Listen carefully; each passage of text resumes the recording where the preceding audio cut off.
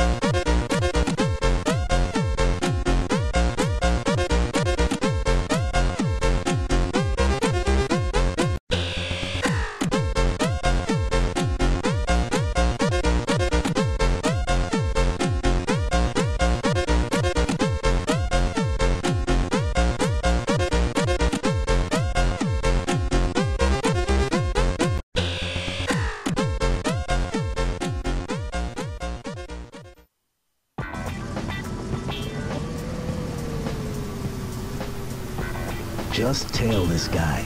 Nice and easy. Right, welcome back everyone to Let's Play Driver 2. This is slow, and this is a mission where you have to drive slow. Yeah, it's second of these chasing things. Right. Well, here we are, this is Havana, and as you can tell we're driving really old crap. But overall we despite the fact that these vehicles are older and styled differently, like they would weigh about two tons or something, they handle pretty much exactly the same as the vehicles in Chicago. And for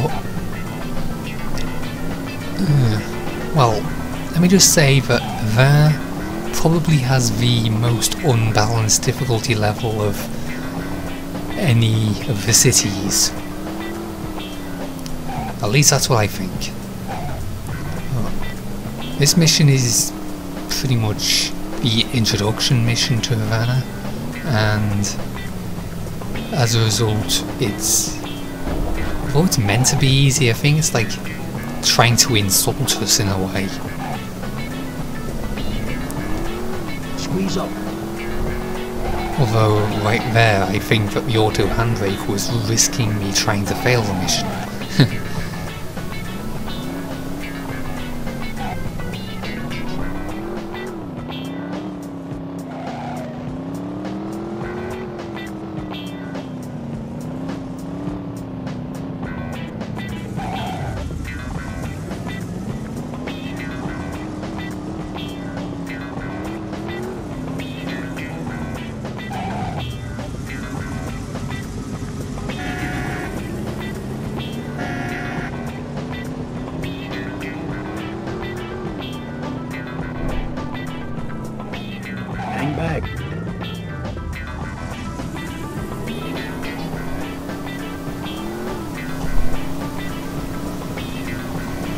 There isn't really much to say about this mission.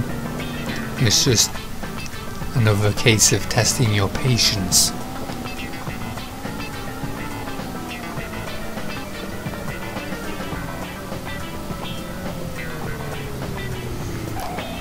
And there's a cutscene after this mission as well, which is great. I don't get to talk so much.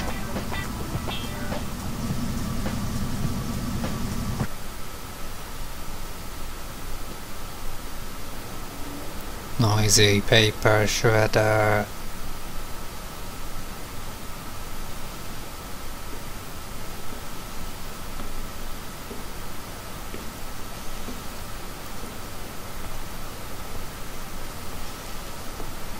God, he has the best job in the world.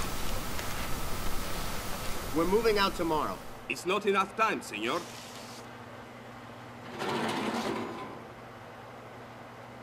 Vasquez says it's enough time, it's enough time. All trucks in 48 hours. There's too many. It ain't gonna break my heart to get you replaced, you scab piece of filth. I'm the one round here who's making this happen.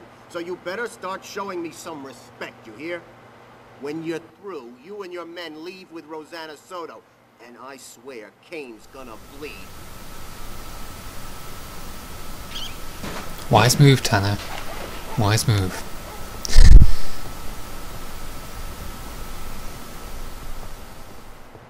He said he was getting me out of here. Vasquez said he was getting me out.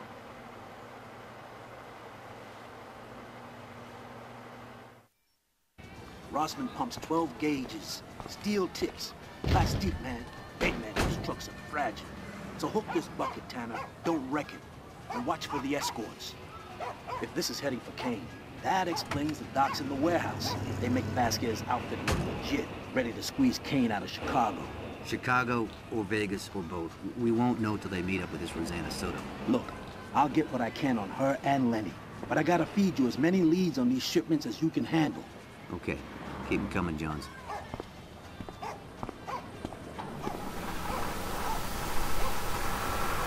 Okay, now after that cutscene, we are entering mission 2. And, well, let's just say this mission is painful.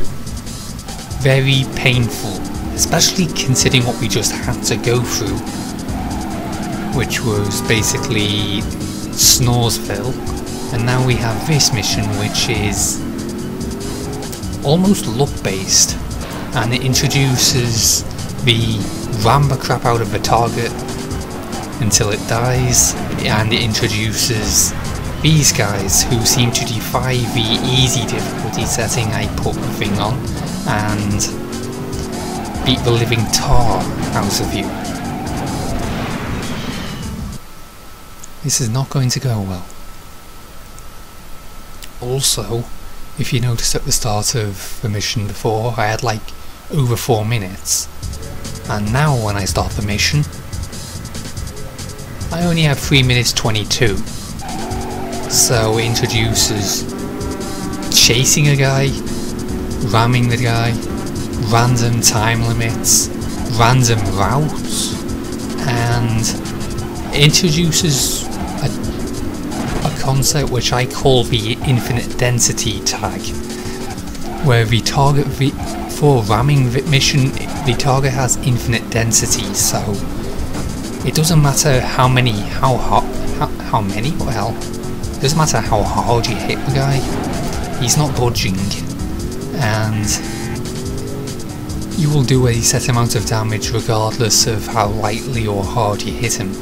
So the way to do optimal damage to this guy is to basically grind the vehicle constantly. And yeah, pretty nasty transitions for a pretty nasty mission. Let the field charge commence.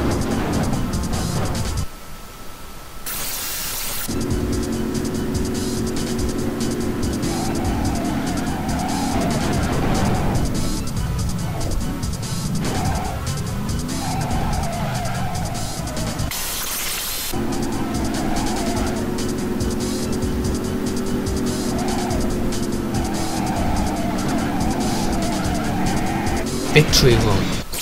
Hooray.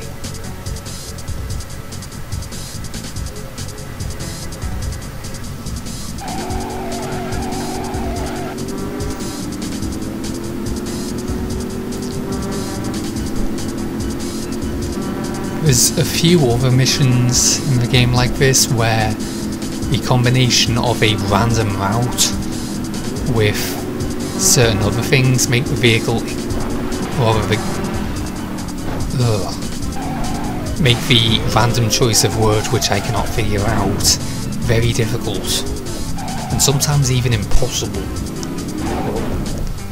In this one we finally managed to get the target driver to drive slow enough for us to be able to nick the vehicle. And now we has to drive the truck all the way over to a lock, which is not too far away in this mission. But for some strange reason the truck is actually pretty quick and a lot faster than the vehicle when you finally unlock it for use in the take a ride mode. As for Take a Ride, there's a lot of secret things in that, and those will eventually be covered after I complete the main campaign. But as you can see, the vehicle is in a critical condition, and there are still guys chasing us. So, fortunately, it would seem that the chaser vehicles are using a different algorithm to chase us, possibly the one used by the police and is therefore set on easy. So fortunately, getting caught at this point and being chased is not the end of the world.